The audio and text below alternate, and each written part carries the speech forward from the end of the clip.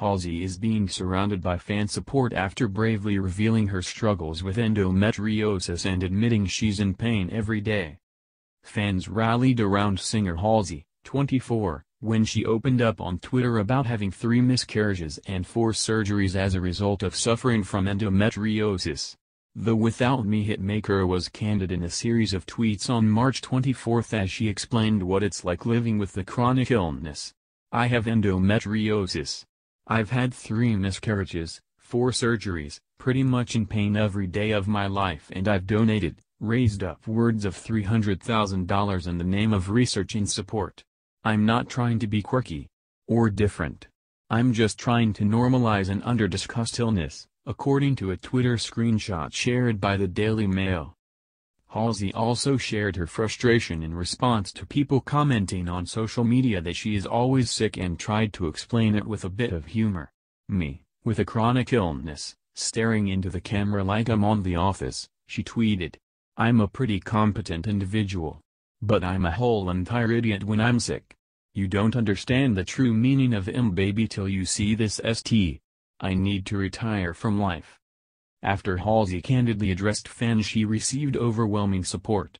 One Twitter follower referenced Halsey's three miscarriages in what now seems to be a deleted tweet, writing, Oh god I only knew about the one miscarriage, I'm so sorry.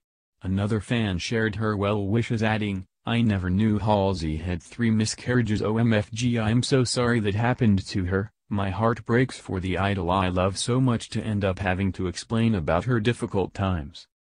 In April 2018 Halsey discussed her struggle with endometriosis during a guest appearance on The Doctors. I think doctors can tend to minimize, you know the female experience when it comes to dealing with it, she said. My whole life, my mother had always told me, women in our family just have really bad periods. But Halsey's concern about her excruciating symptoms increased while she was busy touring and playing at concerts.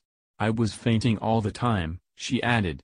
And I got misdiagnosed with chronic fatigue, with anxiety, they were telling me I was fainting because I was anxious. The multitalented star explained that she woke up one day in so much pain and was bleeding so much, she also revealed a harrowing story of managing to make her way inside a hotel to vomit before collapsing in the street outside her tour bus. Luckily, Halsey has the support of millions of fans who completely understand what she's going through. Endometriosis affects more than 200 million women worldwide and is described as an often painful disorder in which tissue that normally lines the inside of the uterus, the endometrium, grows outside your uterus, according to the Mayo Clinic.